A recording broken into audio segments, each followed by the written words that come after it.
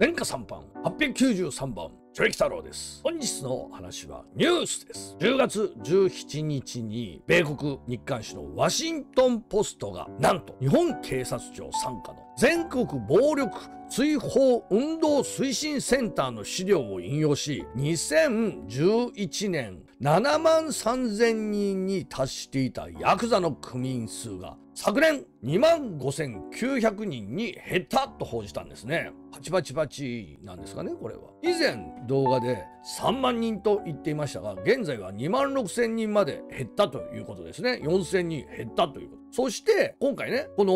動画をね撮っているのはこのデータをニュースで知ったからなんですよ。2010年から2018年までの間に組織を離れた元ヤクザのうち再就職できたのは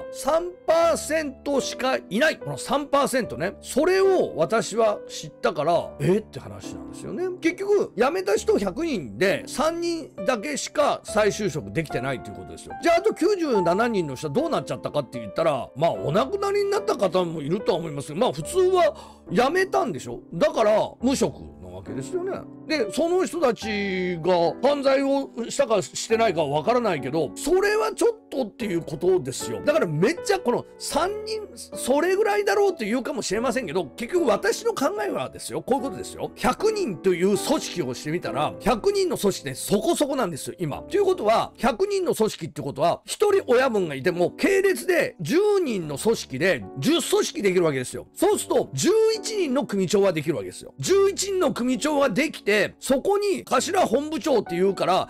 30数名はいわゆる執行部っていうかもう運営できるわけですよ。約3割なんですよ。ヤクザをやってれば。でも辞めたら3%っていうことは、もうこれ数字が物語ってて、なかなか少なくても再就職率が50%とかあるとなんか夢がね、辞めてもなんとかなるんだと。半分のうちに入れなかったら自分の努力が足らないな。3人って言ったら親分になるぐらいの大変ですよね。ここの茨の道に行けるのかっていうか、今、よし、やめるぞってやめるんじゃなくて、もう今の状態は正直言って、やめざるを得ない状況になってやめちゃってる方たちがほとんどなんで、その中でもまあ就職が難しいっていうことなのかなっていうことなんですよね。そうですね。まあこのやめるということに関して、いろんなこと、まあもっとね、暴力団でも、例えば資格試験を取ってきちんと構成されてる方とかもいますし、うどん屋さんをやられたとかいうことを聞きますけど、それが全てじゃないですよね。ネットフリックスであの、ヤクザと家族、ザ・ファミリーっていう映画見られた方もいると思いますけど、いかにしてこの働くっていうことが難しいかっていうこと、結局元ヤクザですよという形で働いて、もうバレれば、やっぱりこの同僚の中からもよく思われないし、居づらくなるっていう描写がありましたし、じゃあ実際、本当のところをいろいろ聞くと、そりゃ、二次団体とかではないと思います。二次団体の組長とか幹部はないと思いますけど、三次団体、四次団体、五次団体の組員っていう人たちは、もうほぼほぼ何らかの形で働いてます。知り合いの建設業だとか、あるいはもう表に出ない皿を洗ったり清掃とか、運転とか、ダンプとかトラックとか、個人でやってるとこ手伝うとかっていうことをやってる人たちがほとんどだと思います。言ってないけどね。ただ、そういう風にしてるのが実情ですよ。正直言って。で、政府っていうか、国とか、まあ、県単位でですね、暴力団の雇用に対して補助金、助成金を出して、その雇ってくれる会社に対して補助金、助成金を出すということをして、今年ぐらいから活発になってきたみたいですね。今までそういう制度を使わなかったんだけど、金額を増してそういう形をしているみたいなんだけども、じゃあ、そこを会社の人たちはどう思うのかとか、同僚たちは、要は補助金、助成金を当てなければ、その会社に勤めれないっていう状態ってどうなのかなっていうことですよね。あなたが欲しいから来てるわけじゃなくて、助成金とかお金もらえるからっていうことだと、これでうまくいくんだろうかっていう私も不安があります。ね、そういうことを言うと、それが障害者雇用だとか、老人雇用もそうだから、というようなことだけど、そこ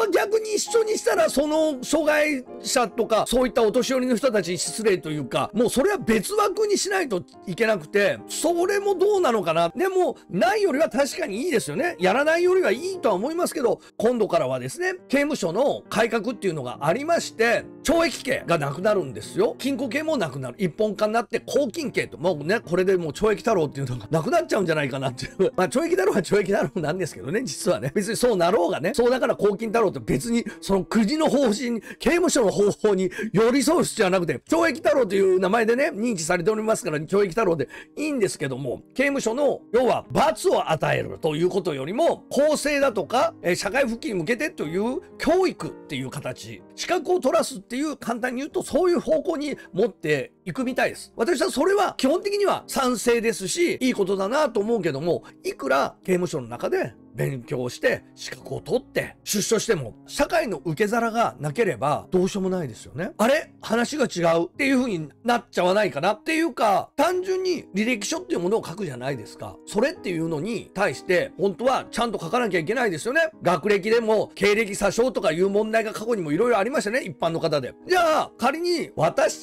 がですよ。まあどこかに勤めることはないですけど本当のことを履歴書に書いたらどこも使ってはもららえませんわな。昭和の頃からのことの履歴書を書いてってって。だから、これってって本当にそうなった場合、刑務所から出てきましたどうこうって書かなきゃいけないのかっていう問題もあると思います。でも、後でバレればっていうことだけども、経営者だけが分かればいいのか、じゃあ経営者の人たちが会社の同僚のに黙っとくっていう理由はないですよ。そこまで気遣って前科者は雇う必要がないから。ここがなかなか難しくて、そういったことの個人情報の扱いっていうことを会社がどこまで保てるのかっていうことはありますよね。でもそんなこと言ってて、そんなめんどくさいことまでこいつら使わなくていいよっていうのは雇う側でしょうね。今、私は人を雇う側になるじゃないですか。例えば、この YouTube に関してでも、例えばカフェ、人気カフェにしても、雇用する側にそういう人たちをって、いや、何年もして、例えばその過去にはそういうことがありましたっていうことなら、ああ、そうですか、もう真面目にやられてっていうなら、いな、何年も経ってっていうのはわかるんだけど、今日出てきました。刑務所出てきた人気カフェで使ってくださいおっすとか言われても、ちょっと待ってくださいよって話になりますよね。いや、気持ちはわかるけど、いや、使ってくれるんでしょ？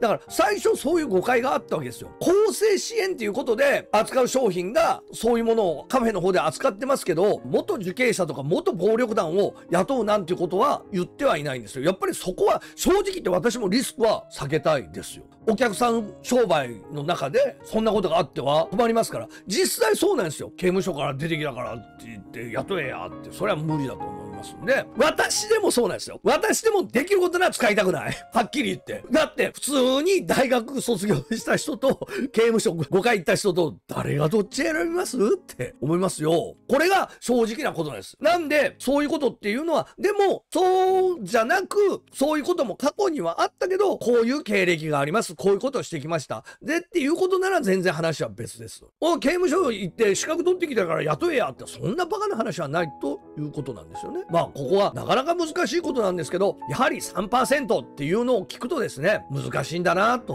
思います。